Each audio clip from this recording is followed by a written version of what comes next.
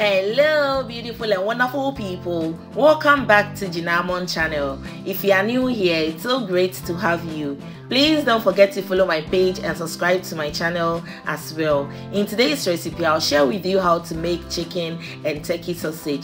Just look at this. Isn't it beautiful? Isn't it amazing? There is nothing like making your own homemade sausage. This turned out so, so delicious and I hope you're going to give it a shot. Let's get started. So the main or the basic ingredient that I'll be using is chicken and turkey. I'm using chicken, chicken thighs. You can use chicken breast as well.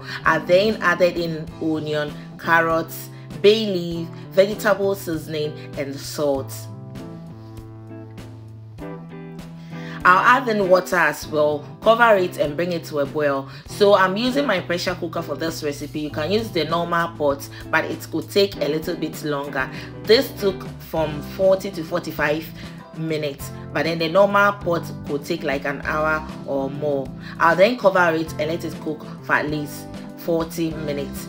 The next ingredient that you'll be needing here as well is beetroot. It's it's it has a lot of nutrients and then it gives that kind of reddish pinkish color. So make sure you add in um, beetroot but then if you don't have it you can use just the normal food color and you are good to go. But this has more nutrients and it's good for your health as well. So i shredded it and then um, took out the liquid the juice in it. I then kept it aside because i'll be using it later. By then the meat or the chicken and the turkey should have um, been cooked and then take it out from the pan just look at it. This is very very soft. You want it to cook to overcook like you want it to be soft. It even took no time like just a second to take out the bones from the chicken. Just look at it. So let's make sure it's cooked like so. I then added in salt again black pepper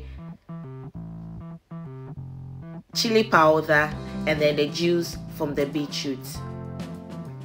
I turn it into the blender and then added in water. I'll blend that until smooth. But before that you will need a gelatin this is a gelatin so i'll soak it in the water and then i'll stir it till it uh, melts once it melts or once once it gets melted add it to the chicken and the vegetables just like so as demonstrated in the video. I'll turn all into my blender and blend this until smooth very very smooth.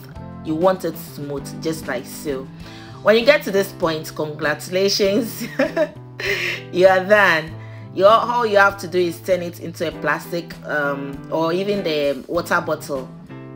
I used uh, this one is a fruit juice bottle but you can use the water bottle a plastic any plastic at all that you can cut it. That's it. After put it in the fridge overnight.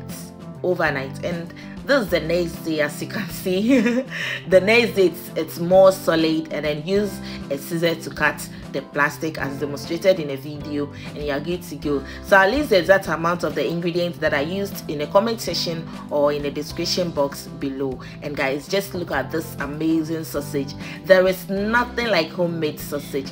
It's not so so delicious it's yumicious you're going to love it. Just try it and let me know in the comment section or in the description box below.